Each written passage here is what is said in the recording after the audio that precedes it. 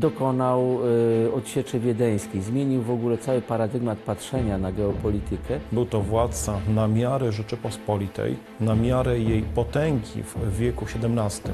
12 września 1683 roku król Polski Jan III Sobieski odniósł wiekopomne zwycięstwo nad Turkami pod Wiedniem. Ocalił wówczas chrześcijańską Europę przed wieloletnią turecką dominacją.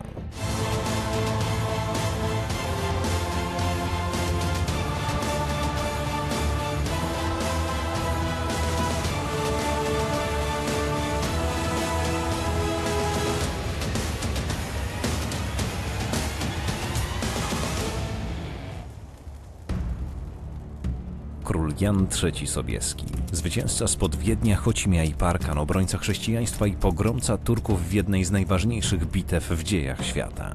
Jan III Sobieski to jeden z nielicznych władców, który był na miarę tak naprawdę ówczesnych czasów, w których potrzeba było silnego władcy. Trzeba pamiętać, że e, pod koniec wieku XVII w Europie dominował absolutyzm. Polska w tym czasie miała kraj demokracji, demokracji szlacheckiej. XVII wiek to okres ogromnych napięć Rzeczypospolitej. To wojny ze Szwecją, brał w nich udział. To kozaczyzna, to też widział. To wreszcie najazdy tatarskie i tureckie. To wreszcie załamanie się potęgi Rzeczypospolitej i sytuacja niebezpieczna, wskazująca, która mogła wskazywać na to, że Rzeczypospolita schodzi do rangi państwa drugorzędnego. Przestaje się liczyć na arenie międzynarodowej. Król Jan III Sobieski wcześniej był znany jako wielki wódz, jako hetman koronny, który pokonał m.in. Turków pod Chocimiem.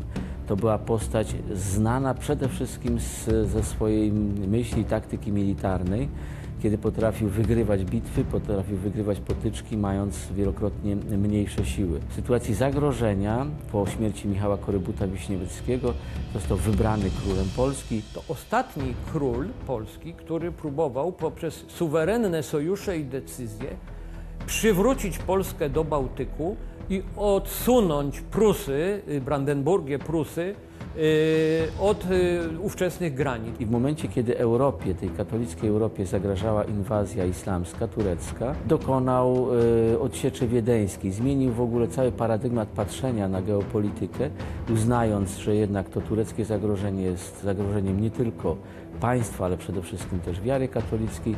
Mając silne wsparcie papiestwa, wyruszył na odsiecz Wiednia. Szlak wiedeńskiej odsieczy prowadził przez Jasną Górę i Piekary Śląskie. W tych właśnie sanktuariach król i jego żołnierze modlili się o wiktorię nad wrogami chrześcijaństwa. Rzeczpospolita musiała oprzeć się przede wszystkim na wale tureckiej, która ciągnęła nie tylko na samą Rzeczpospolitą i zajęto całe Podole, ale również zagrażała innym krajom chrześcijańskim, takim jak monarchia e, habsburska, pod której rządami pod rządami Habsburgów w tym czasie była nie tylko Austria, ale również część Węgier, również Czechy. W razie otomańskiego zwycięstwa zmieniłaby się postać cywilizacyjna Europy. Doprowadził do zatrzymania potęgi osmańskiej.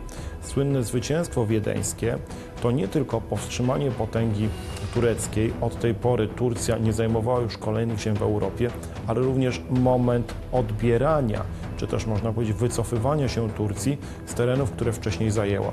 Sobieskiemu nie dane było dożyć roku 1699, kiedy Polska odzyskała Podole, ale to jemu właśnie zawdzięczamy odzyskanie tych ziem. To Janowi III Sobieskiemu zawdzięczamy wreszcie, że Europa powstrzymała ten bardzo groźny najazd ze strony Turcji. To można powiedzieć jeden z ostatnich takich wielkich triumfów oręża polskiego, które rozsławiło husarię, rozsławiło też samego króla na całą Europę. Potęga turecka od tego momentu praktycznie już się nie odrodziła. Polski król po wiktorii wysłał posłańca z wiadomością dla papieża Venimus vidimus Deus vicit. Przybyliśmy, zobaczyliśmy, Bóg zwyciężył.